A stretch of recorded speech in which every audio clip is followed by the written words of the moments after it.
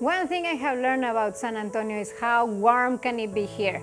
As you see, we have been almost 100 degrees or more in the last weeks.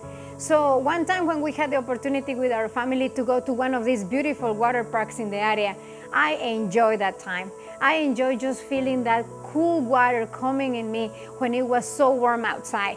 And I felt refreshed and I almost felt like I was able to be alive again.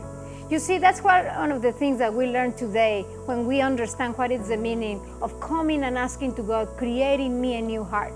We're capable to go with God wherever we are, emotionally, spiritually, physically, but we can come to Him and know that we can just submerge ourselves in His love and know that we come out from that place with a refreshed spirit.